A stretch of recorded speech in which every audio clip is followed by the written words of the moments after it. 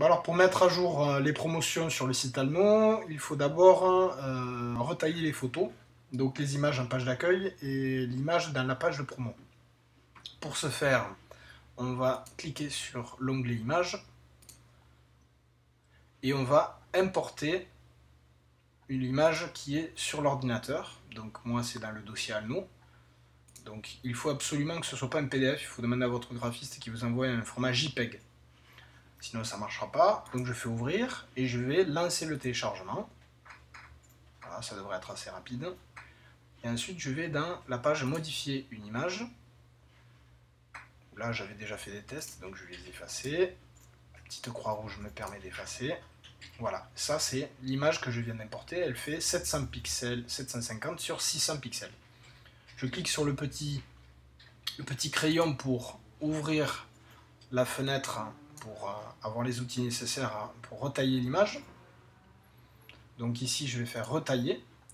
Je sais qu'en largeur, pour la grande image de la page de promo, c'est 600 pixels euh, maximum, donc je vais taper 600. Je vais conserver les proportions pour la hauteur. Je clique sur le petit euh, onglet vert. Voilà, ça me calcule, ça m'a retaillé l'image. Et maintenant, je vais sauver. Donc je clique sur sauver. je peux changer le nom de l'image si je veux je clique encore sur le petit bouton vert, fichier sauvegardé, voilà, je ferme la fenêtre. Alors là, je ne le vois pas parce qu'il faut que je recharge la page. Donc tout simplement, je vais sur une autre page, je reviens, et là, je vois que j'ai mon image en 600 sur 480 pixels. Donc cette image est bonne pour la page de promo. Donc je vais reprendre la même, je vais encore l'éditer pour en faire une petite version pour la page d'accueil. Donc la petite version pour la page d'accueil, c'est 340 pixels sur 150. Donc d'abord je vais mettre 340 ici, je retaille, mais je vois que j'ai 340 sur 272, donc moi il me faudrait 150 pixels en hauteur. Alors à ce moment-là, on va recadrer l'image. Donc je clique sur l'outil de recadrage. En largeur, je vais retaper 340. Et ici, je vais mettre 150.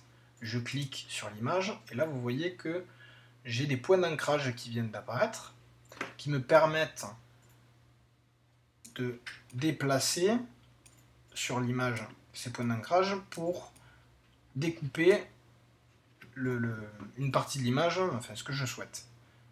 Donc là, je vois aussi, il faut faire attention, des fois ça bouge.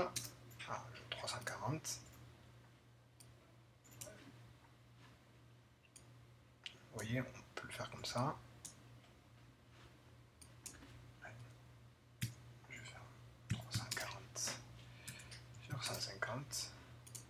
Voilà.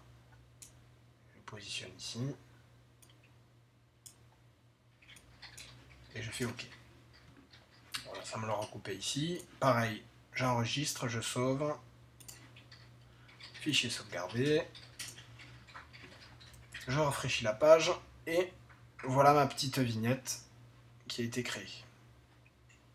Donc, voilà pour les images dans l'autre vidéo, on va voir dans la page euh, comment les insérer.